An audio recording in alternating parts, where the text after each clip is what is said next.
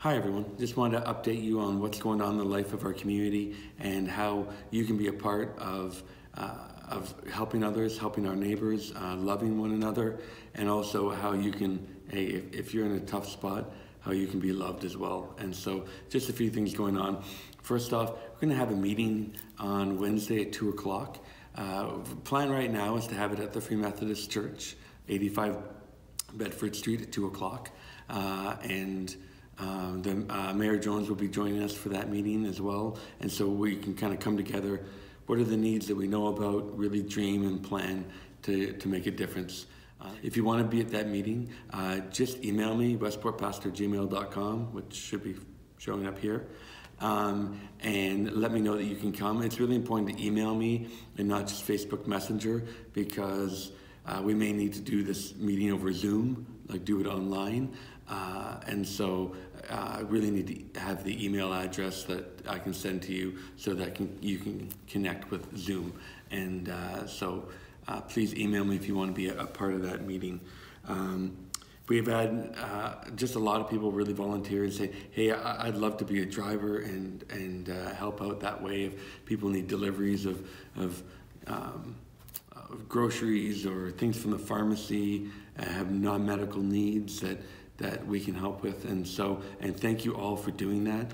Um, I just want you to know that the church will be covering your mileage for that. We don't want uh, money at this time to, to be a barrier to anyone who wants to be engaged and help out.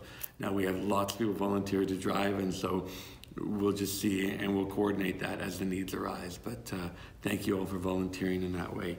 Um, also, yeah, if uh, uh, this is really important. If you're an hourly worker, and we have a lot of hourly workers in our community, and you may be kind of worried and anxious about, you know, uh, it's the restaurant I work in or the store I work in, if that's going to be closed. I'm like, I'm going to have money for food to feed my family. And um, I just want you to know you will not go hungry, that we've got your back. And we do not worry about the cost of food. If you need food delivered to you, uh, we got your back, or if we, you just need us to help coordinate that you just go up, go into the grocery store and pick up the food, that, that will make sure that that's covered for you. We just, there's enough anxiety going on, especially if you have a family uh, and young kids, but this is not exclusive to people with young kids, but if you have young kids, there's enough to, to really care for their needs that we don't want you have to worry about uh, about food on the table. Not in our town, not in our community, for sure. Um, if you're just anxious and you just feel like you need someone to talk to, I, I, I want you to be sure to uh, to uh, message me, um, and uh, and I'll connect you with someone to, speak to, and uh, maybe in person, uh, virtually, or on the phone, something like that. But uh, or or Skype or Zoom. But sometimes we're just anxious and we need someone to talk to, and so definitely get in touch with me.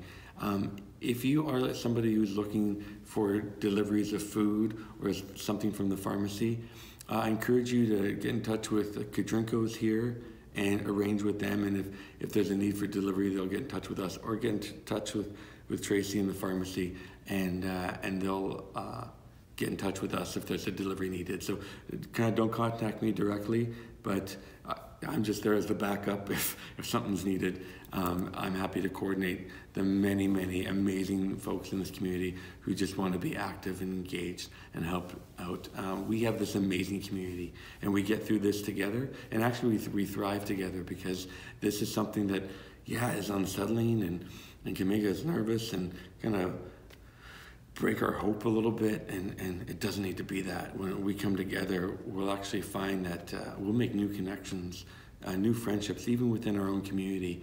Uh, this will tie us and bring us together um, if we do this together. So uh, any needs, anything that you're aware of, please get in touch with me and, uh, and yeah, and we'll have each other's backs. And so I'll just every so often be doing a video trying to keep you updated about things as they develop. But if you're able to make it on Wednesday at 2 o'clock, for sure, email me and uh, let's just dream together about how we as this amazing community really show it. We'll talk to you soon.